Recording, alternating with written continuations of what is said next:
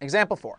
Use the following diagram to give an equation describing the wave in the diagram. Now, to begin with, let's point out, we just want to remember y equals uh, a, the amplitude, times sine, the function that allows us to have periodicity, allows us to have oscillations occur algebraically, kx minus omega times time.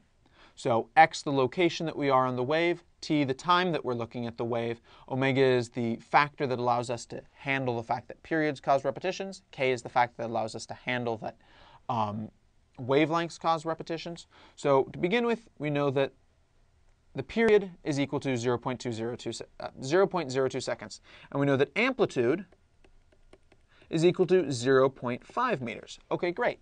What is this here? Well, that is not equal to the wavelength. Remember, if we look just to the right of this point, and we look just to the right of this point, we should see the exact same thing. We don't see the exact same thing. It's going down over here. If we go over here, though, we will see it. And because it's a sine wave, because it's evenly spaced out throughout, we know that 3.5 meters isn't going to be the wavelength, but it's going to be half the wavelength because it's in one of the dips. So wavelength over 2 so that means that our wavelength is equal to 7 meters. All right, so there's all the data that we wind up needing. Now we want to solve for what k has to be. k is equal to 2 pi over lambda, so k is equal to 2 pi over 7. Omega is equal to 2 pi over the period. Oh, uh, by the way, K. We're throwing around K a lot. I never mentioned this, but K is not the same K as when we were dealing with springs. It's a different K. We're using it to mean a totally different thing at this point. The K that we're using in this stuff is different than the K we used before. Just like how little t and big T don't necessarily mean the same thing, we can even wind up using the same letter for different things, and we have to know contextually what we're talking about. Sorry, I uh, made that assumption, but that's actually a really important thing. You don't want to get confused and think that uh, springs and waves necessarily have to do with each other every time. It's not that same spring constant we were talking about before.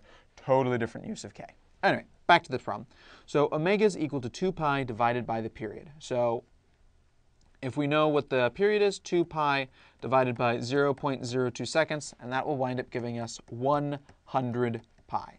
So simple as this at this point, we just plug in all of our numbers. So y is equal to, that amplitude was 0.5 meters, times sine of the numbers 2 pi over 7 times x minus omega, 100 pi times the time that we're looking.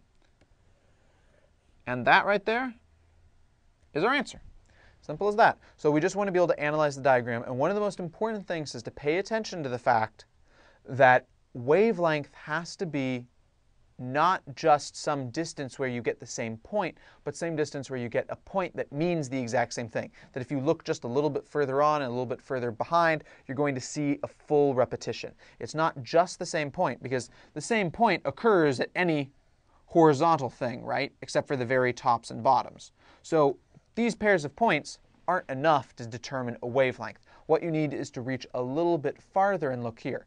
The very top to top because tops themselves only occur once every wavelength, whereas middles occur twice.